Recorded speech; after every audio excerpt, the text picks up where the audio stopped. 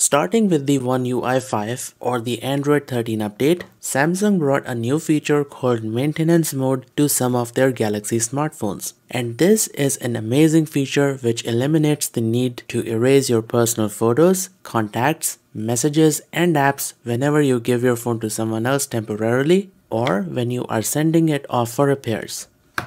Hey guys, Tech Guy Charlie here, welcome back to the channel. So let me explain how maintenance mode works in a little bit more detail.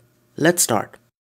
Now I will be demonstrating on the S22 Ultra but this feature is also available on the S21 series and Samsung's 2022 foldables. Anyways, to get to the maintenance mode, go to settings, scroll down to battery and device care. Inside here, scroll down and you will find the maintenance mode. Alright, so you might be in a situation where you have to temporarily give your phone to someone else for them to use or your phone might develop some issue and you need to send it off for repairs. Now everyone has a lot of confidential and sensitive data on their phone like personal pictures, contacts, messages, apps, etc etc which they don't want the other person to see. So a factory reset is a logical choice whenever you want to give your phone to someone else temporarily or when you are sending it off for repairs. But the thing is, factory reset is a tedious process. Number one, you lose all your data and settings. And number two, setting the phone up is also quite tedious after a factory reset.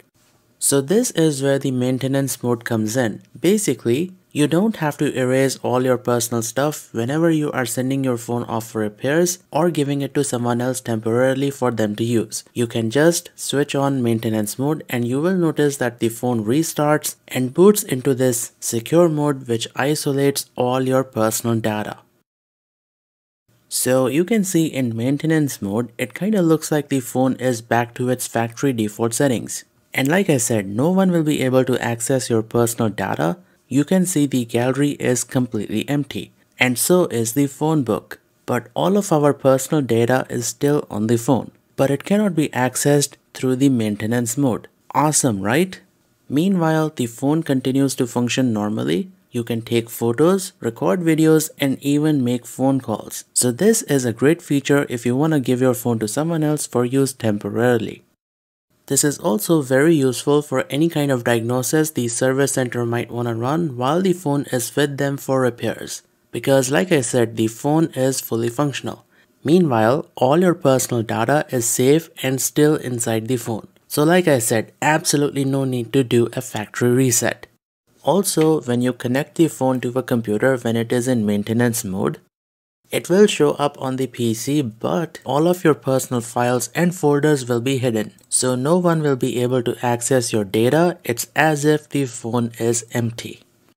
And any changes made in the maintenance mode will be automatically discarded once you switch the phone back to its regular mode. So let's do that. As you can see, it requires you to enter your biometrics. So only you can bring the phone back to its normal state.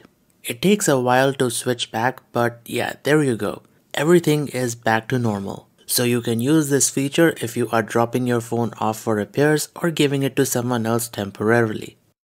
Now, this feature was introduced with the Android 13 One UI 5 update, and it is available on the S21 series, the S22 series, and Samsung's 2022 foldables but unfortunately it is not available on their older smartphones such as the Galaxy Note 20 Ultra which is really a shame because the Note 20 Ultra is an amazing phone in late 2022 and even in 2023 it's still gonna be an amazing phone. Although I don't know it might be a hardware limitation so I will not come to any conclusions here.